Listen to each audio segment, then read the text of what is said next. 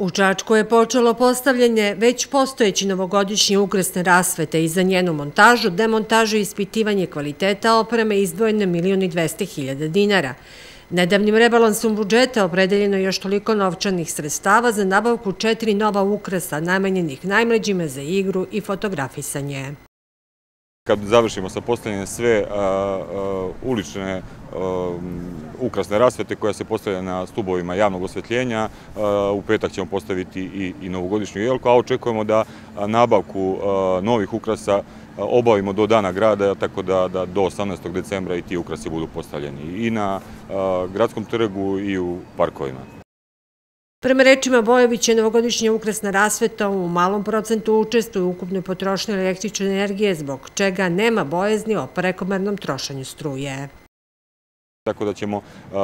tražiti brojne druge načine da izvršimo uštedu električne energije, ali to svakako ne sme biti na uštrb naših, pre svega najmlađih sugrađana, ali i građana Čačka koji zbog brojnih pozitivnih rezultata i uspešnog poslovanja u svim segmentima svakako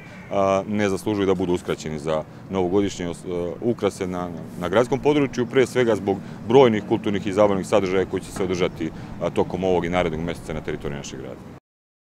Bojović je podsjetio da je Čačak izdvojio značajne novčana sredstva za zamenu postojiće ulične rasvete LED svetiljkama. Mi smo, kao što znate, sproveli postupak javne nabavke za zamenu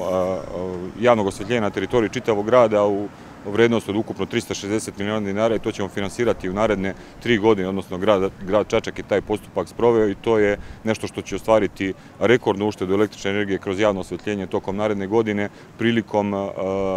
zamene 11.500 svjetljike na teritoriji našeg grada, a to je aktivnost koju smo eh, i već započeli u saradnji sa komunalnom inspekcijom eh, grada Čačka, sprovodimo aktivnosti na isključenju eh, nelegalno priključenih korisnika struje sa javnog osvetljenja, čega nažalost ima i apelujem na građane da to ne čine.